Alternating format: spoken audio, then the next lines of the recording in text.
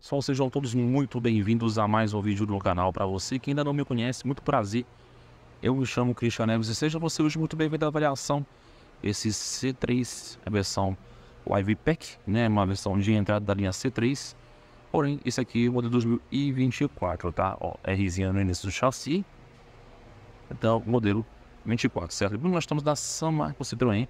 Toda qualquer informação em relação a Samarco Citroën você vai encontrar na descrição abaixo desse vídeo bem como uma playlist também com diversos vídeos que já gravamos aqui da linha Citroën como um todo.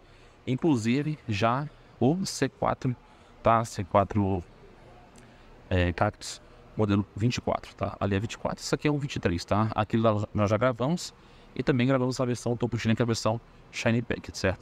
Bom, queridos, aqui nós vamos tratar de informações ao qual vocês nos cobram muito aqui no canal, como eu sempre falo no início dos nossos vídeos. Então a gente vai ver questão de conjuntor, questão de jogo de rodas e frenagem, tecnologia que esse carro também oferece, o que tem aqui abaixo desse capô, né, qual é o motor que tem aqui abaixo, e o principal, que é a questão de valores. Então nós vamos ver aqui valores para PCD, tá? Uh, produtor rural, CNPJ, taxista e é óbvio, tá? Para pessoa física também. Então, sem enrolação, vamos lá começar a esse rapazinho como um todo. Vamos passar aqui ó, pela questão do conjunto ótico que vem com mais cores escurecidas, tá?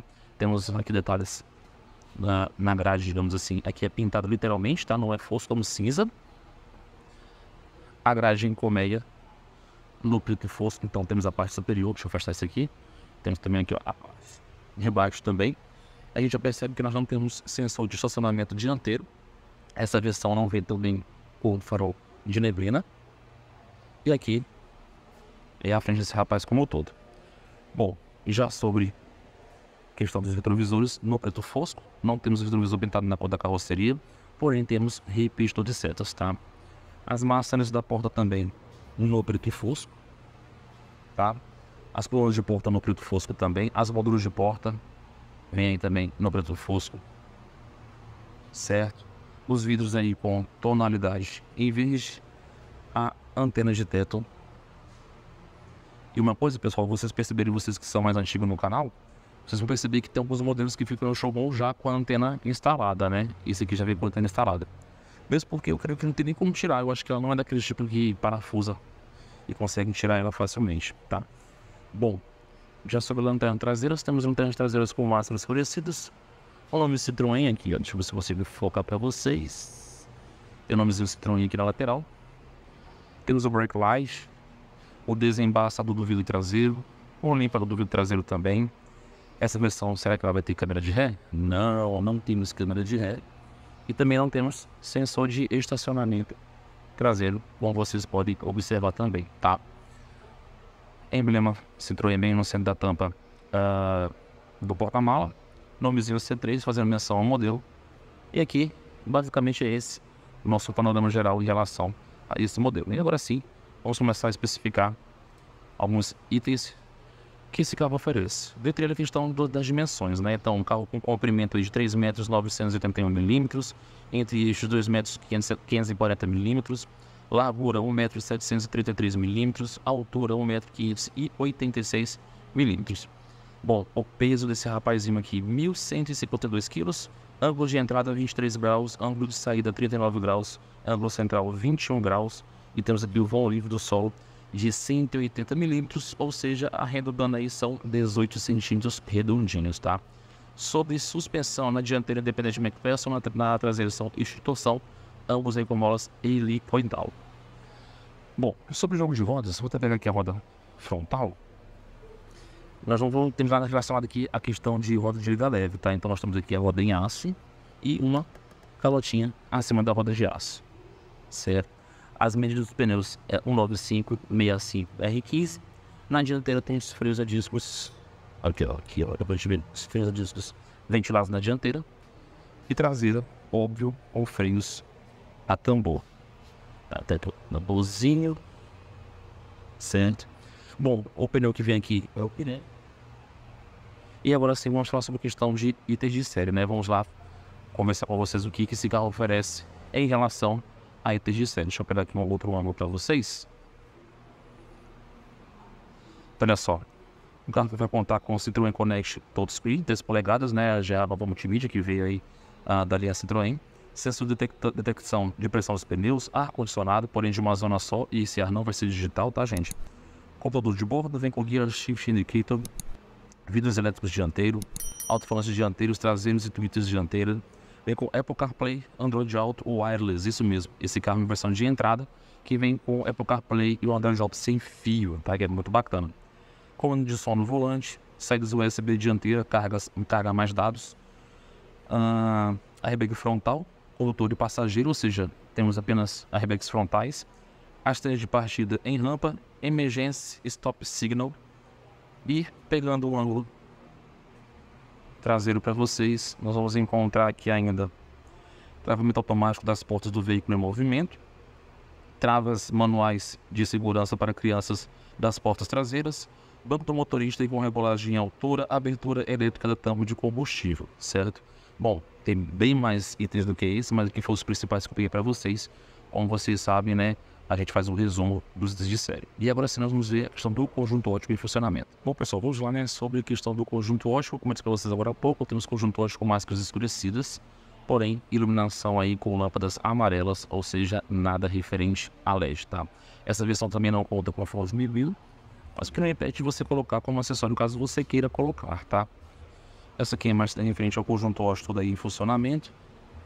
Temos ainda os repetidores de setas nos retrovisores e lanternas traseiras também né, por máscaras escurecidas. Não temos assinaturas em LED ou algo do tipo, porém iluminação de placa, essa sim usei e laser, tá?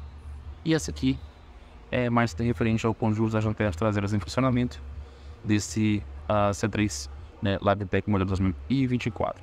E aproveitando que nós já estamos aqui, vou falar um pouco sobre a questão do porta-mala. Já deixei até aqui meio que aberto para facilitar para a gente. Aí, ó.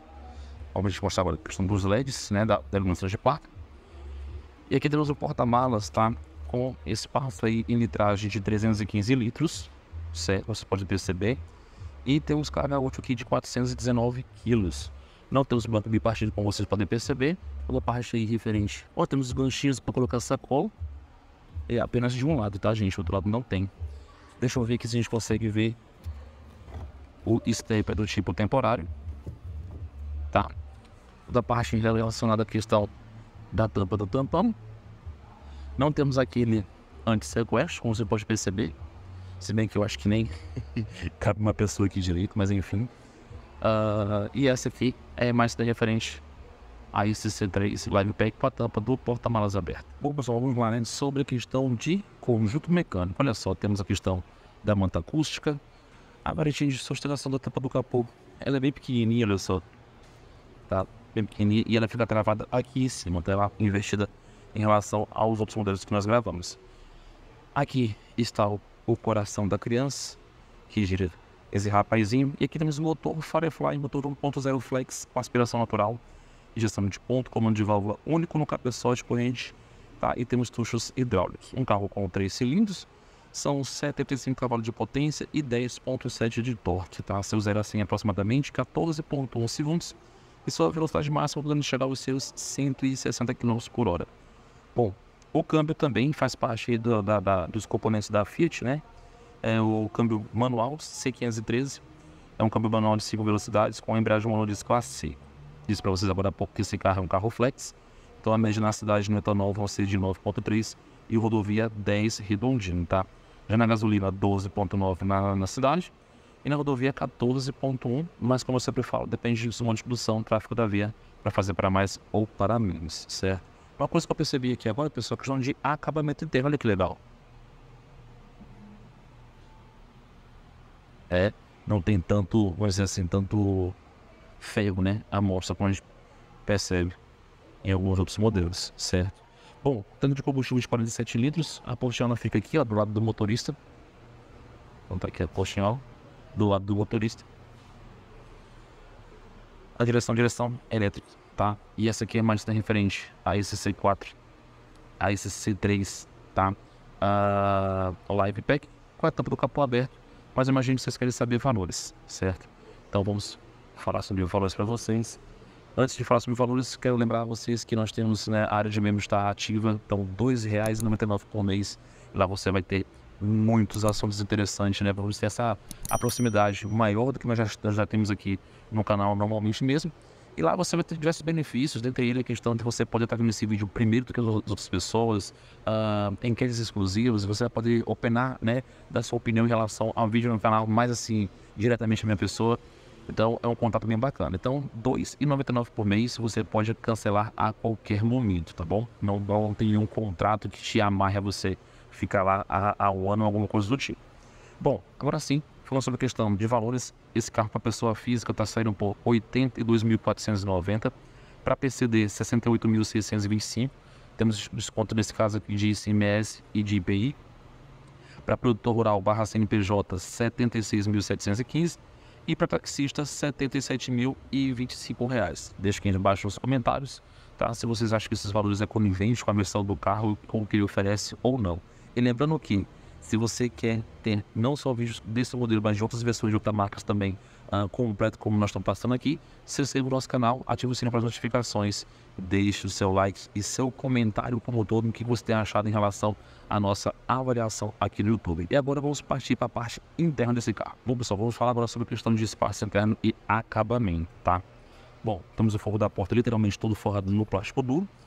Como eu disse na parte dos itens de série, apenas os vidros dianteiros são elétricos, na traseira uma nivelinha mesmo. os bancos traseiros revestidos aí ah, em tecido, três encoxos de cabeça, sendo do tipo três pontos, temos Isofix, o forro na cor branca e não temos nada referente a alças PQPs, como vocês podem perceber, tá? Eu creio que deve ser porque é uma versão de entrada. Bom, o banco a gente pode perceber que ele é inteiriço, né, os bancos dianteiros, e não temos também bolsões de porta revista em nenhum dos, dos dois bancos traseiros, tá bom? Temos a porta objeto aqui, vindo aqui para frente. Também o fogo da porta literalmente no plástico duro, como vocês podem perceber. O ajuste do retrovisor externo é de forma manual, por esse pininho aqui, os quatro vidros são elétricos e temos também a questão da maçaneta também interna, né, de forma de plástico também. Ajuste dos bancos.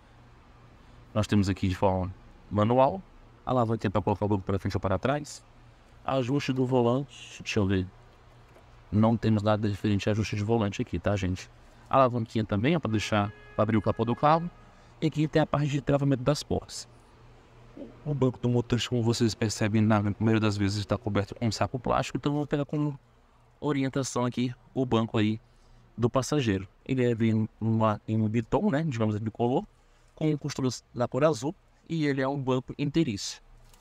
Entrando ou a bordo, como eu sempre falo, do C3 Live Pack modelo 24, temos aqui a chave do carro, é uma chave normal, não é uma chave presencial nem uma chave canivete.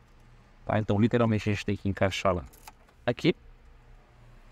Painelzinho digital, volante multifuncional, como disse para vocês, um câmbio manual de 5 velocidades, a basezinha revestida em couro, freio de mão também com a base também revestida em couro, botãozinho no aço escovado, tá? Porta-objetos, dois porta-copos, porta-objetos, mais outro porta-objeto, tomada USB, aqui eu creio que é uma 12 volts, isso mesmo, 12 volts, como eu disse, o ar não é digital. A iluminação interna com lâmpadas amarelas só tem iluminação aqui. Aqui no centro não tem iluminação. O que mais, Christian? Ah, temos aqui um espelho para o motorista, mas não temos iluminação. E aqui tem para dona patroa também. Tem um espelho também, mas não temos iluminação. Mas eu imagino, galera, que isso aqui deve iluminar muito bem, tá? Bom, a alavanquinha referente à luz alta luz baixa das setas. E aqui temos outra alavanca referente ao limpador de para-brisa e do vidro traseiro. Detalhes também referentes à questão aqui do, uh, do painel. Temos um cinza mais claro. Detalhes também aqui, ó, certo? E aqui também simulando aí um aço escovado, mas é plástico. Bom, o porta-luva é bem pequenininho. Então, olha só. Bem pequenininho, de de espaço. Ah, não tem uma mais fundo. Então, retira o que eu falei. Ele é bem grandinho.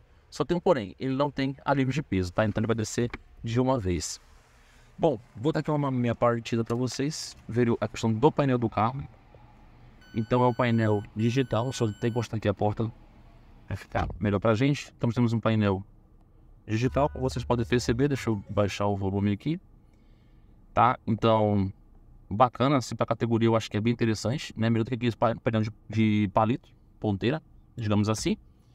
E aqui nós temos a nova multimídia, né? Que vem com o Apple CarPlay Android Auto, né? E Bluetooth. Lembrando que o Apple CarPlay Android Auto eles são sem fio. Deixa eu ver se eu mudando aqui, se ele para de piscar um pouco mais. Enfim, tá? Mas nós não temos GPS embarcado aqui.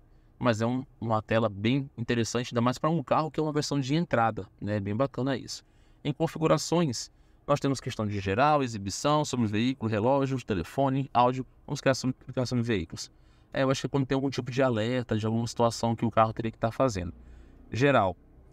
Bom, questão de linguagem, restaurar padrão, sobre a questão do wireless aqui, que é para você aí é, ver a questão da conectividade do, do, do carro aí, da conexão sem fio. Bom, queridos, essa aqui é uma imagem referente à parte interna desse carro como um todo. Tamo junto, aguardo vocês para o próximo vídeo no canal. Bom, pessoal, você acabou de ver que esse detalhe está C3 Live Pack. Das versões de entrada né, da linha C3. Né? Não só é a versão de entrada da linha C3, como é a versão de entrada da linha Citroën, tá?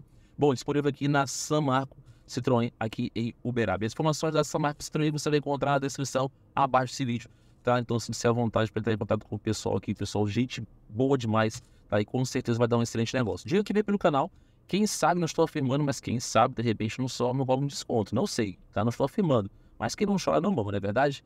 Bom, lembrando também que nós somos associados à Amazon, tá? Então, link na descrição e no comentário fixado. Sinta-se à vontade para navegar pelo site da Amazon através dos nossos links, tá bom? O que mais, Christian? Bom, se inscreva no nosso canal, ative o sininho para notificações. Muito obrigado por você ter assistido nosso vídeo até aqui. Eu vou ficando também por aqui também, tá? Fica todos com Deus. Aquele abraço, tamo junto demais. Deus abençoe cada um de vocês e tchau, obrigado.